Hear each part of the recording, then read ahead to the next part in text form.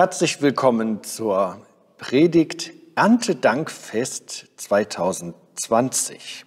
Ich möchte mit uns einen passenden Text dazu lesen dürfen aus 5. Mose 26, die Verse 1 bis 11 und ich lese aus der Übersetzung Hoffnung für alle. Ihr werdet nun in das Land gehen, das der Herr, euer Gott, euch schenkt. Ihr werdet es einnehmen und euch darin niederlassen. Wenn ihr dort eure Ernte einbringt, dann legt die ersten Früchte in einen Korb und kommt damit an den Ort, den der Herr, euer Gott, auswählen wird, um dort zu wohnen.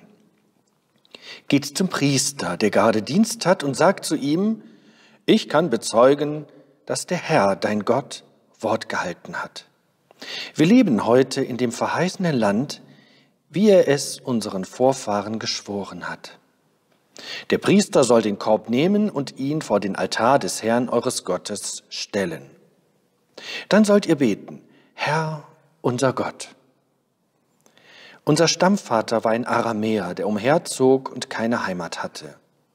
Er ging mit seiner Familie nach Ägypten und siedelte sich in diesem fremden Land an. Zu Anfang waren sie nur wenige, doch dann wurden sie ein großes und mächtiges Volk. Die Ägypter behandelten uns schlecht.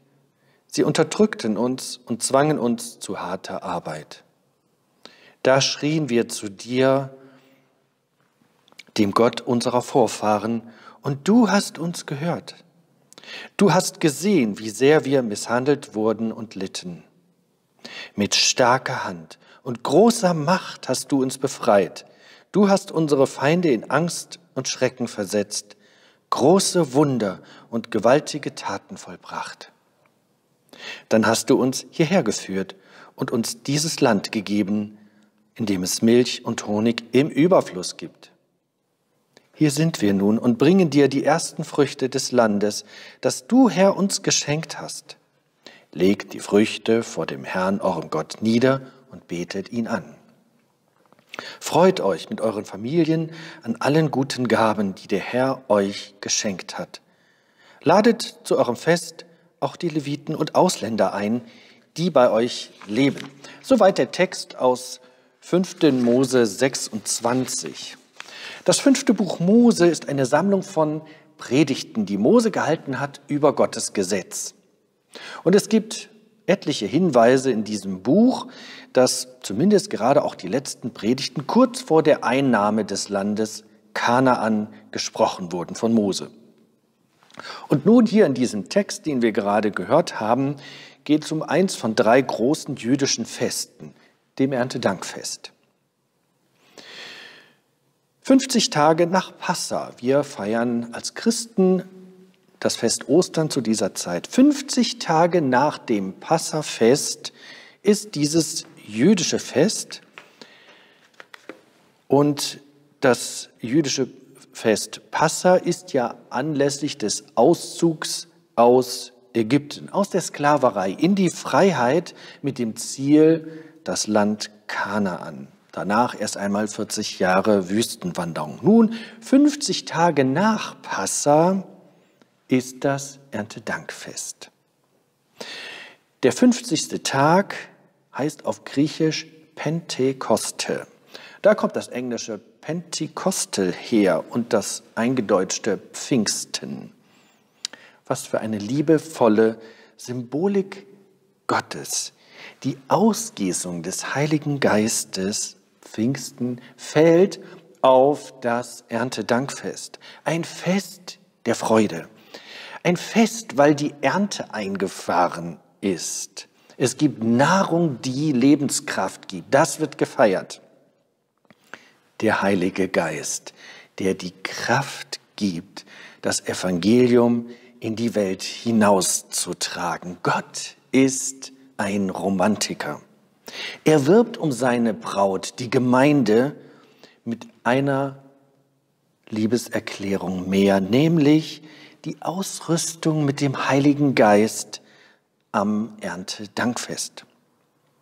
Das Erntedankfest ist eine Erinnerung, dass die Früchte eigentlich nur möglich sind, weil Gott das Land und die Freiheit geschenkt hat. Erntedankfest ist ein Aufruf zu Dankbarkeit. Und ein Ausdruck von Dankbarkeit ist, die ersten Früchte an Gott zu geben. Warum gerade die ersten Früchte? Weil es ein Zeichen größter Dankbarkeit und Liebe ist. So wie bei einer Hochzeitstorte am Hochzeitsfest. Der Bräutigam das erste Stück natürlich dem Getränkelieferant geben könnte oder selbst essen könnte. Aber er gibt es hoffentlich der Braut, das erste Stück. Gottes Werben ist, eine innige, eine innigste Beziehung zu haben, wo das Erste ihm gegeben wird. Und so hat er auch damals den Wunsch an Kain gerichtet, dass er ihm die ersten Früchte an Gott gibt. Wir lesen in 1. Mose 4 ab Vers 3, eines Tages nahm Kain etwas von dem Ertrag seines Feldes und brachte es dem Herrn als Opfer dar. Abel wählte eine Gabe für Gott aus, er schlachtete einige von den ersten Lämmern seiner Herde und opferte die besten Fleischstücke mitsamt dem Fett daran. Der Herr blickte freundlich auf Abel und nahm sein Opfer an. Kain und seinem Opfer hingegen schenkte er keine Beachtung. Darüber wurde Kain sehr zornig.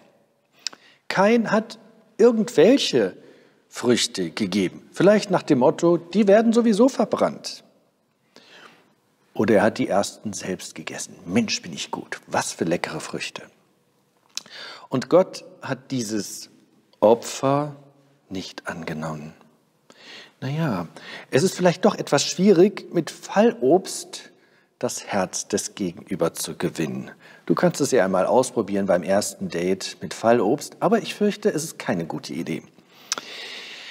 Ehrlich gesagt habe ich mich schon einmal selbst ertappt, dass ich beim Verteilen des Bratens am Mittagstisch zuerst an mich gedacht habe. Mensch, was für ein gutes Stück. Das würde auf dem Teller des Chefs der Familie doch gut aussehen. Ja, wenn der e-, Egoismus größer ist als die Liebe zu meiner Partnerin oder den Kindern, dann behalte ich das Beste für mich. Vielleicht ein kleiner Selbsttest Ehe, wenn ich meine eigenen Rechte, was mein Partner mir schuldet, besser und schneller und zahlreicher aufzählen kann als die Gründe, die ich habe für meinen Partner, ich glaube, dann darf ich in meiner Liebe noch eine Schippe drauflegen. Oder um es in ein Bild auszudrücken, darf ich in den Ofen noch etwas Holz nachlegen. Es gibt übrigens einen Trick, wenn ein leckeres Stück Kuchen oder ein Braten auf zweigierige Kinder verteilt werden muss, sodass es gerecht ist. Eines der Kinder darf den Kuchen oder den Braten durchschneiden und das andere Kind darf sich dann ein Teil aussuchen. Das führt erfahrungsgemäß zu einem hohen Grad an Gerechtigkeit, diese Regel. Aber eine Regel ist nur nötig, wenn die Liebe fehlt. Wenn fehlt diese Sehnsucht, den anderen höher zu schätzen als sich selbst. Gott geht mit der Liebeserklärung in Vorlage. Er opfert seinen ersten Sohn, nicht irgendeinen Engel. Er opfert seinen ersten Sohn. Und er gibt an Erntedank den Heiligen Geist. Gott geht mit seiner Liebe in Vorlage. Vielleicht sagen wir heute, welchen Bezug haben wir eigentlich noch zum Erntedankfest? Wofür sollen wir danken? Wofür sollen wir Gott danken? Der Bauer hat den Samen ausgesät. Der Bauer hat gedüngt. Er hat Schädlingsbekämpfungsmittel ausgestreut. Er hat gewässert, als die Sonne zu lange geschienen hat. Er hat geerntet. Er hat die Ernte zum Großmarkt gebracht. Der Händler hat das Gemüse oder das Obst vom Großmarkt abgeholt. Er hat es im Laden schön aufgestellt und dekoriert. Und ich habe es gekauft mit meinem Geld, das ich verdient habe. Wofür soll ich Gott eigentlich danken an Erntedankfest? Um es mit einem Lied der Rockgruppe Böse Onkels auszudrücken, auszudrücken, danke für nichts. Die Ernte ist eingefahren. Wofür, bitteschön, soll ich Gott eigentlich danken? Im Sozialismus in der DDR hat man diesen Gedanken konsequent zu Ende gedacht und hat schlicht das Erntedankfest umbenannt in Erntefest. Ohne Dank. Einfach Erntefest. Und hat die Parole rausgegeben, auch ohne Gott und Sonnenschein fahren wir die Ernte ein. Kein Witz. Auch ohne Gott und Sonnenschein fahren wir die Ernte ein. Erntefest. Wofür Gott danken. Ist es eine höfliche Floskel? Ist es einfach Tradition? Eine Legende? Ich möchte einmal drei Antwortversuche geben. Wofür Gott danken?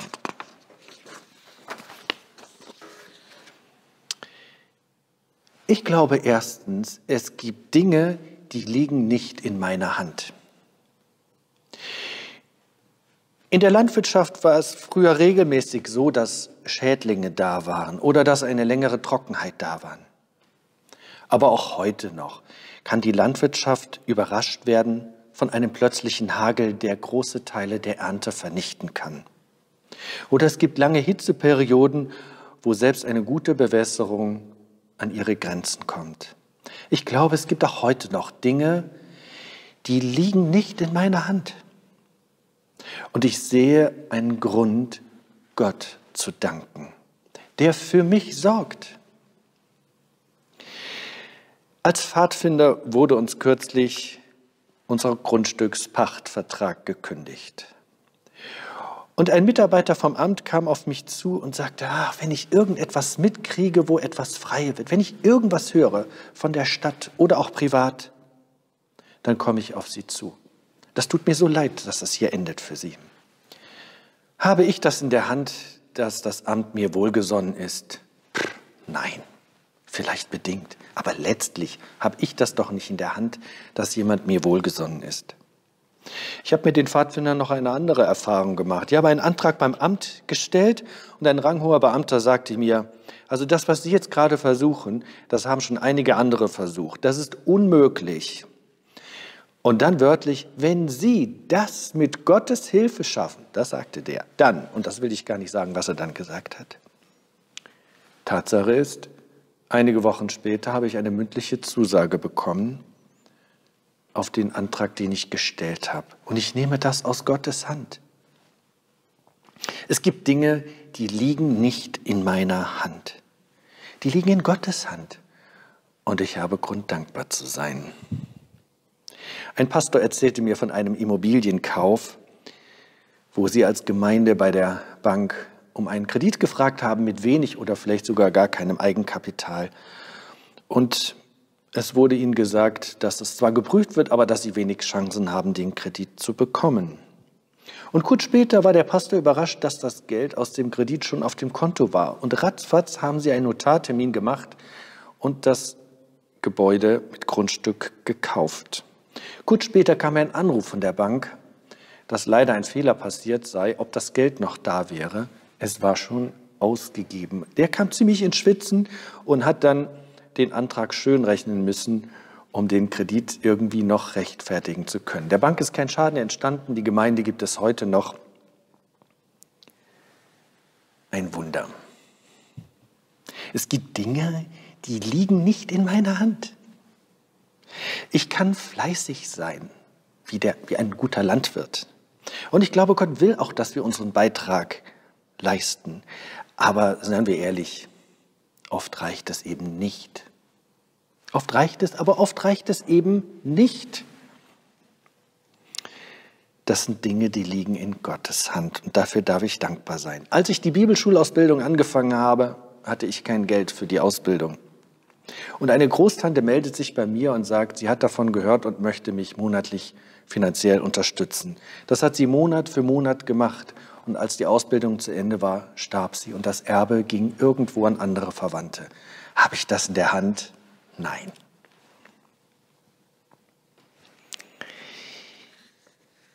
In der Pressekonferenz der DDR vom 9. November 1989 hat Günter Schabowski einen verhängnisvollen Fehler gemacht, indem er gesagt hat, die Grenzen sind ab sofort offen. Und es führte dazu, dass die Wiedervereinigung sehr zügig, friedlich möglich wurde. Es gibt Dinge, die liegen nicht in meiner Hand. Die sind in Gottes Hand und dafür darf ich dankbar sein. Und ich denke auch, das aktuelle Beispiel Corona zeigt, wir haben nicht alles in der Hand. Wir haben so viel erreicht. Wir können so viel untersuchen, nachvollziehen. Aber letztlich, es gibt so vieles, was wir gar nicht in der Hand haben. Erstens, wir haben nicht alles in der Hand. Zweitens, Wachstum kommt von Gott. Im 1. Korinther 3, Verse 6 bis 7 lesen wir, von Paulus, der sagt, ich habe gepflanzt, Apollos hat begossen, aber Gott hat das Wachstum geschenkt. Es ist nicht so wichtig, wer pflanzt und wer begießt. Wichtig ist allein Gott, der für das Wachstum sorgt. Wachstum kommt von Gott. Paulus sagt, Wachstum kommt immer ursprünglich von Gott. Jedes Jahr, und jetzt ist es wieder soweit, beschneide ich meinen Kirschbaum oder meine Jungs helfen mir oder meine Mutter auch schon mal. Und nach dem Beschneiden sieht der Kirschbaum elend mickrig aus. Und das Jahr darauf wird er wieder sehr groß. Und dann bekomme ich manchmal Lob. Was hast du für einen schönen Kirschbaum? Ja, den habe ich beschnitten. Aber habe ich das Wachstum gemacht? Nee, ich kann doch nicht Wachstum machen. Ich kann bestenfalls Wachstum ermöglichen. Und was ich besonders gut kann, ich kann Wachstum verhindern. Aber machen, ich kann doch kein Wachstum machen. Paulus sagt, wichtig ist Gott, der für das Wachstum sorgt. Auf einer Konferenz wurde ein Pastor gefragt, wie machst du das, dass, das, dass deine Gemeinde so wächst? Und dann sagte er, ich habe keine Ahnung. An uns liegt es nicht, auch an unseren Konzepten nicht. Ich habe keine Ahnung, wie wir gewachsen sind. Als Kind war es so, dass wir als Familie mindestens einmal im Jahr meine Großeltern besucht haben und jedes Jahr dann das gleiche Klingeln, Klingeln an der Tür und die Großeltern machen auf und der Satz fällt Jahr für Jahr, Mensch, seid ihr Großworte. Ja, hat mich als Kind mit einem Stolz erfüllt. Ja, ich bin größer geworden, ich habe es geschafft. Was für ein Quatsch. Ich habe doch nicht dazu beigetragen, dass ich größer geworden bin. Habe ich das Wachstum als Kind in mir gemacht? Nein. Vielleicht habe ich dazu beigetragen, indem ich morgens fünf Brezeln gegessen habe. Das schaffe ich heute nicht mehr. Aber habe ich das Wachstum in mir geschafft? Nein. Wachstum kommt von Gott. Gott ist der Schöpfer. Nur er kann etwas schaffen, das von sich aus wächst. Er, der das Leben eingehaucht hat. In 1. Mose 2, Vers 7. Da nahm Gott der Herr etwas Staub von der Erde, formte daraus den Menschen und blies ihm den Lebensatem in die Nase. So wurde der Mensch ein lebendiges Wesen. Deswegen die Pfingsterfahrung an Erntedank. Gott haucht seinen Geist ein, der Wachstum schafft, der Kraft gibt, Zeuge zu sein. Es gibt Dinge, die habe ich nicht in der Hand. Wachstum kommt von Gott. Und drittens, alles kommt von Gott. Olympische Winterspiele 2002 in Salt Lake City. Der erfolgreichste Wintersportler aller Zeiten nimmt Abschied Georg Hackel. Und die letzte Medaille, die er bekommt in Salt Lake City, widmet er aus Dankbarkeit seinem Vater. Hat sein Vater ihm geholfen? Nein. Er war zu dem Zeitpunkt sogar schon tot. Sein Vater war einige Wochen vorher gestorben. Aber Georg Hackel weiß, sein Vater hat ihm eigentlich das Leben geschenkt. Sein Vater hat immer an ihn geglaubt. Hackelschorsch, wie er genannt wurde, hat aus Dankbarkeit, in Liebe, in Demut zu seinem Vater ihm die Medaille gewidmet. Weil er weiß, letztlich hat er alles oder zumindest menschlich gesehen sehr viel seinem Vater zu verdanken. Erntedankfest heißt Danke für die Ernte, danke für den Weizen, danke für den Wirsing. Das fällt manchen Kindern etwas schwer, da Danke zu sagen. Danke für den Wirsing. Danke für die Äpfel, danke für Nüsse, danke für verschiedene konkrete Dinge. Und so lesen wir in 5. Mose 26, Vers 11, Freut euch mit euren Familien an allen guten Gaben, die der Herr euch geschenkt hat. Erntedankfest ist ein Aufruf, eine Einladung zu Dankbarkeit, aber über die Dinge hinaus zu Dankbarkeit für Gott selbst. Vers 10.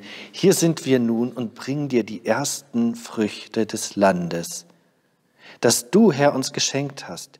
Legt die Früchte vor dem Herrn, eurem Gott, nieder und betet ihn an. Es geht um Dank an Gott als Person, ihm zu begegnen, ihn zu verehren, ihn anzubeten, der Gott, der uns alles geschenkt hat. Nicht nur den Weizen und die Äpfel. Und Mose verbindet hier in diesem Kapitel in der Predigt Erntedankfest und Passa. Und Mose erinnert das Volk daran, wo es herkommt, nämlich aus der Sklaverei, der Gebundenheit und wo es dann angekommen ist, in Kanaan, in der Freiheit und den Weg dahin durch die Wüste mit vielen Wundern. Das Erntedankfest darf uns auch heute erinnern, wo ich herkomme. Aus Gebundenheit der Sünde, wo ich wäre ohne Gott heute.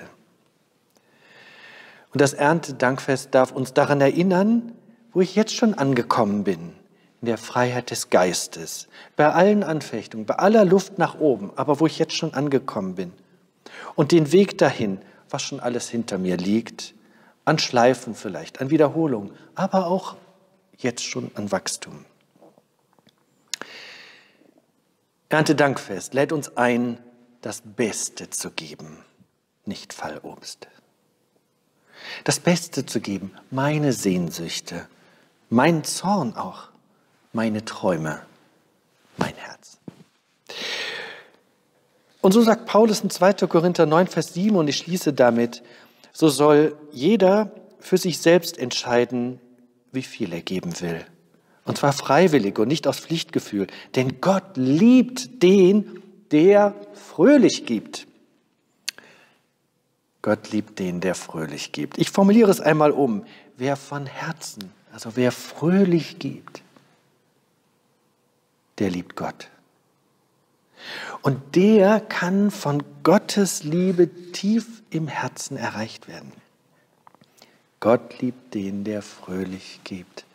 Aber es ist doch auch so, wer von Herzen fröhlich gibt, als Zeichen seiner Liebe, der liebt Gott. Und der kann Gottes Liebe annehmen, aufnehmen und im Herzen verstehen. Ich empfehle zum Schluss das Lied Danke von Joel Brandenstein und schließe mit einem Gebet. Gott, von dir kommt alles. Von dir kommt Wachstum, von dir kommt Leben. Und ich weiß, es gibt so viel, das nicht in meiner Hand liegt. Es kommt aus deiner Hand. Ich möchte dir dafür danken, für all das Gute. Und ich möchte dir danken für dich. Ich danke dir, dass ich dich kennenlernen darf. Ich danke dir, dass du mich gesucht hast. Amen.